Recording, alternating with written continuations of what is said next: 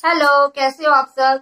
तो आज आपको पता ही है कि करवा चौथ है तो हम लोग हो गए हैं तैयार। और ये देखो मेरी मेहंदी। अभी हम लोग करने वाले हैं पूजा। थोड़ी सी पूजा करनी है। शाम के चार बज चुके हैं। अभी खाना बना लिया है हमने दोपहर को क्योंकि शाम को आपको पता ही है व्रत रखा हुआ तो बहुत थकावट महसूस होती है। आ, मैंने क्या बनाया है? आज खाने में मैंने स्पेशल सब्ज़ी बनाई हुई है। वो आप लोगों के साथ में आगे ज़रूर शेयर करूँगी। और आप लोगों को जो मेरी प्यारी प्यारी बहनें हैं, उन सभी को करवा चौथ की बहुत बहुत बधाई। तो चलिए, अभी वो मेरी जेठानिया, दीदी आ रही हैं, हम उनके साथ मिलकर पूजा करेंगे, व्रत की कथा करेंगे। और, बाकी आपको आगे दिखाती हूँ तो चलिए, उसके बाद मैं आपको आगे का दिखाती हूँ। तो जी, उससे पहले आ गई थी मैं किचन में, और रात को जो खाना बनना था ना, उसकी तैयारी कर रही थी तो उसके लिए मैं बना रही हूँ आज मदरा। जो हिमाचल में बनने वाली एक डिश है जो शादी ब्याह में और शादी ब्याह में बनाई जाती है। बस वही डिश जो है मैं आपके साथ शेयर कर रही हूँ। तो ये देखिए, मैंने इसमें कढ़ाई में डाला है घी। ये जो है ना, वो घी में या रिफाइंड ऑयल इसमें ही बनता है। सरसों के तेल में बिल्कुल भी ना इसको बनाएँ। और घी जो है मेरा पिघल चुका है तो इसमें अब मैं डालूँगी तेज़ पत्ता, दालचीनी और छोटी इलायची। और उसके साथ डाल दिया मैंने इसमें मीठी सौंफ। और अब डाल रही हूँ कुछ ड्राई फ्रूट्स। आप कोई भी ड्राई फ्रूट्स डाल सकते हैं इसमें। मेरे पास जो थे मैंने वो डाल दिए इसमें। और अब इनको अच्छी तरह मिला लूँगी इसमें और भून लूँगी। जब ये हमारे जो ड्राई फ्रूट्स हैं वो घी में अच्छी तरह भुन जाएँ तो उसमें अब हम डालेंगे दही। मदरा जो है ना वो मैं रोंग का बना रही हूँ। तो जितने मैंने रोंग लिए हैं, मैं उसमें उतना ही दही डालूँगी। रोंग को मैंने भिगो के रखा था और उबाल भी लिया है उसको। रोंग को उबाल के भी रख लिया है मैंने। तो अभी इसको मैं दही को जो अच्छी तरह है ना, वो घी में मिला लूँगी। और जब इसमें उबाल आने लगे तो डाल दूँगी कुछ सूखे मसाले। धनिया पाउडर, जीरा पाउडर, हल्दी पाउडर और कश्मीरी लाल मिर्च। इसमें प्याज, लहसुन और टमाटर जो है वो बिल्कुल भी नहीं डालना है मैंने। और इसमें डलता भी नहीं है। आप लोग हिमाचल में तो सभी लोग बनाते होंगे और मुझसे भी बढ़िया तरीके से बनाते होंगे, पर मैं कैसे बनाती हूँ बस वही आप लोगों के साथ शेयर कर रही हूँ। तो इसमें अब मैंने डाल दिया है गरम मसाला एक चम्मच। जो रोंग उबाल कर रखे हैं ना मैंने, अब जो है इसमें डाल देने हैं उनको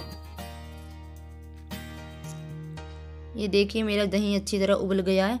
तो ये है मेरे उबले हुए रोंग, उनको मैं अब इनके बीच में डाल दूँगी। और इसके साथ मिला दूँगी। अभी इसमें हमने ना और पानी बिल्कुल भी नहीं डालना है। जो दही ने दही का पानी है ना, उसी में इनको पकाना है। तो अब थोड़ी देर ढक के रख दूँगी मैं इसको, नमक डाल के।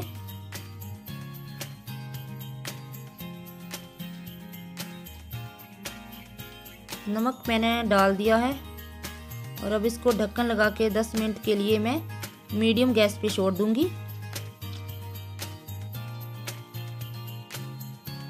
मैंने सोचा चलो करवा चौथ के मौके पे मैं इस बनाऊँ इस डिश को। और ये देखिए, जो 10 मिनट के बाद हैं, वो इस तरह पक चुके हैं। अभी इनमें पानी थोड़ा ज़्यादा है तो फिर मैं इसमें ढक्कन लगा के छोड़ दूँगी। और उसके बाद देखिए, फिर मैंने इसको चेक किया तो ये बनकर तैयार हो गए हैं। ये जो है ना, वो पतले पतले बिल्कुल भी अच्छे नहीं लगते हैं।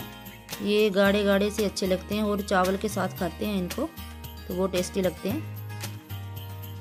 तो मेरा जो मदरा है ना, बस पक चुका है।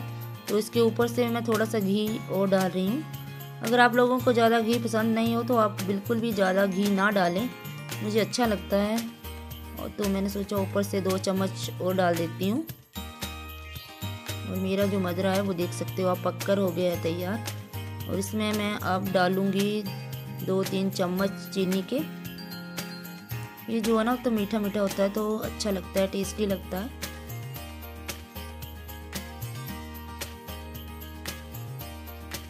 तो बस जो मैं करवा चौथ पे स्पेशल डिश बना रही थी, बस वही ये डिश थी मैं आप लोगों के साथ इसको शेयर कर रही हूँ। आप लोग ज़रूर प्लीज़ इसको ट्राई कीजिएगा।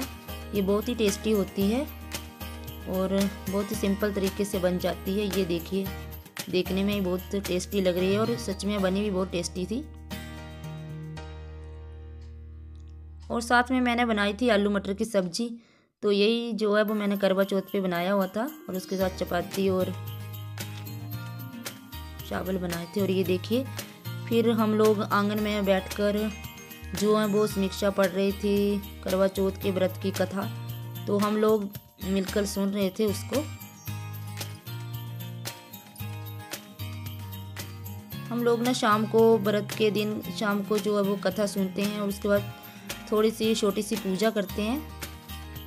तो समीक्षा पढ़ रही थी कथा को और हम जो है तीन, ये मेरी एक जेठानी और दूसरी भी जेठानी ही है।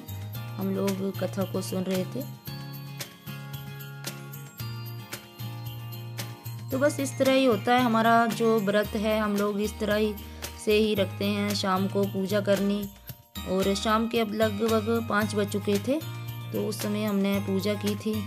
और फिर हम लोग जो हैं, फिर मंदिर जाते हैं। पास में ये मंदिर मैं आपको दिखाती हूँ आगे। वहाँ जाएँगे हम।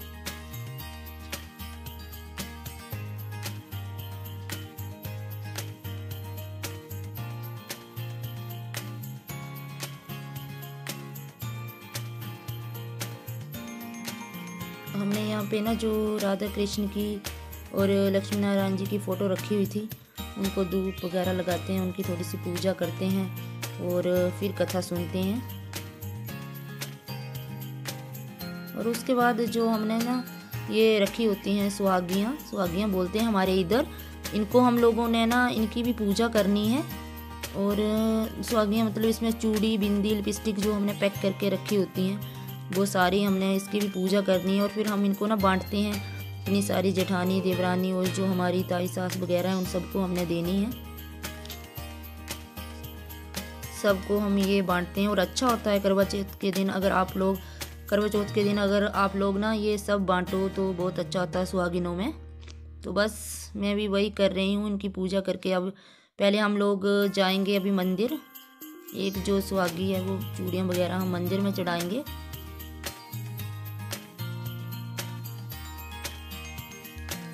मैं तो थोड़ा सा पास से दिखा रही हूँ। ये देखिए, ये सब जो है ना, हम एक मंदिर में चढ़ाएँगे जाकर और फिर थोड़ा मैं, हम सब एक दूसरे के घर में जाके इनको बांटते हैं। और अभी ये देखो, मंदिर जो हमारे घर के ना पास ही है, एक छोटा सा मंदिर है, ये लक्ष्मी नारायण जी का। बहुत पुराना मंदिर है ये, हम लोग यहाँ पे गए हैं और माथा टेक रहे हैं। और देखिए समीक्षा ने आसपास का थोड़ा सा व्यू भी ले लिया है। तो पहले हम मंदिर में चढ़ाएँगे। फिर बांट देंगे इधर उधर। हम सभी ऐसा ही करते हैं। सभी ऐसे एक दूसरे को ये जो सुहागी चूड़ियाँ वगैरह बांटते हैं।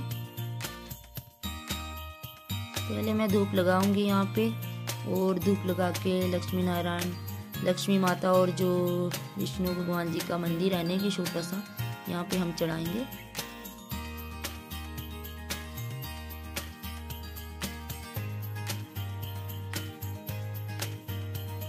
ये देखिए, ये है लक्ष्मी नारायण जी की मूर्ति।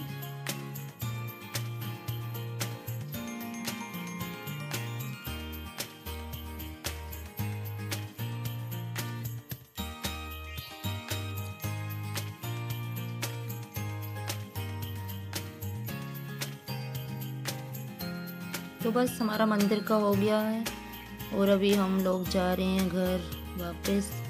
ये देखिए आसपास का थोड़ा सा समीक्षा ने कर लिया है कैप्चर तो फिर साढ़े आठ बजे तक हमारा जो चंद्रमा है, वो निकल गया और मैं कर रही हूँ थोड़ी चंद्रमा की पूजा और फिर उसके बाद मैंने देना है अर्घ।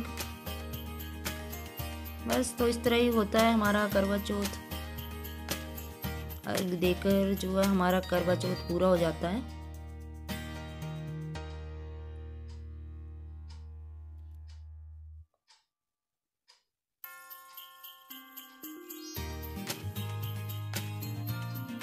तो अभी मैंने दे लिया अर्घ। और इसके बाद अभी आप देख सकते हो, पूजा भी कर ली है। तो बस हो गया मेरा करवा चौथ पूरा। अगर आप लोगों को मेरी वीडियो अच्छी लगे तो प्लीज़ मेरे चैनल को लाइक और सब्सक्राइब करना बिल्कुल भी ना भूलें। Thank you very much